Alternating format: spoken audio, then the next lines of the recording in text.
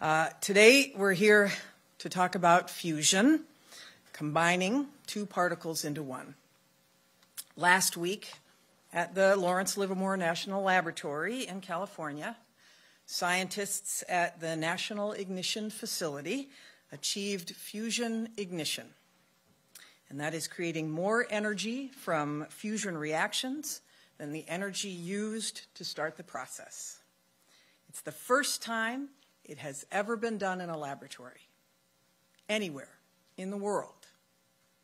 Simply put, this is one of the most impressive scientific feats of the 21st century.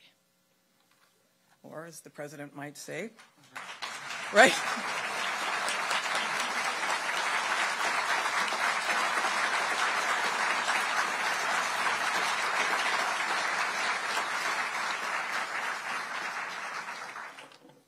I do think he probably did say this is a BFD.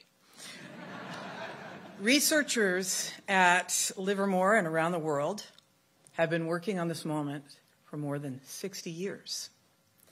So, what does this accomplishment do?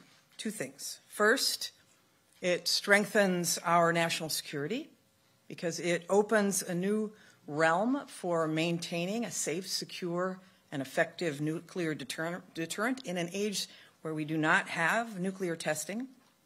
Ignition allows us to replicate for the first time certain conditions that are found only in the stars and the sun.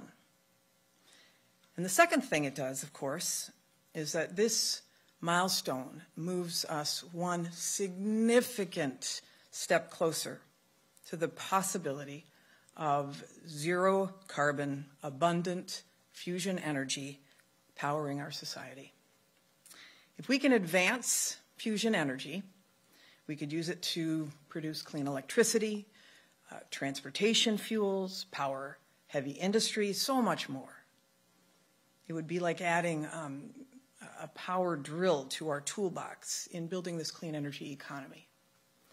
So today, we tell the world that America has achieved a tremendous scientific breakthrough, one that happened because we invested in our national labs and we invested in fundamental research.